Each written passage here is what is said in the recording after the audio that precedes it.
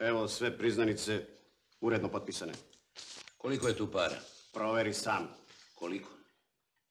42.150 dinara. Bez kamata. Bez. Dobro.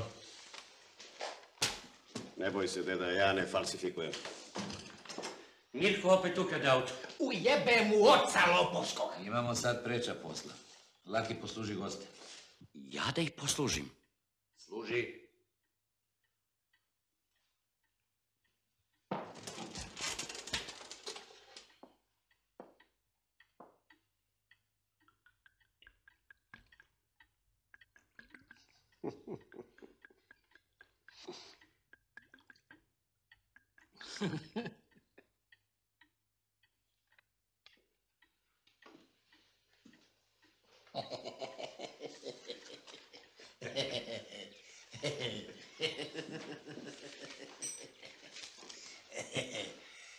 Ili, Laki, jel to mišomor?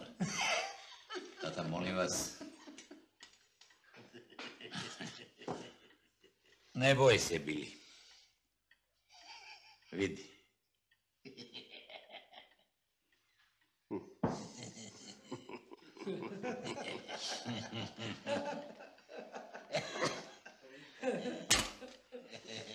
Je li, deda, akcent je da niste slučajno i gospodinu Rajkoviću sipali mišom?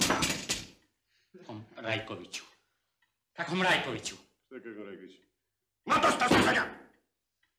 Pare na sunce ako nećete da vučete bukagije na robiji zbog ubistva.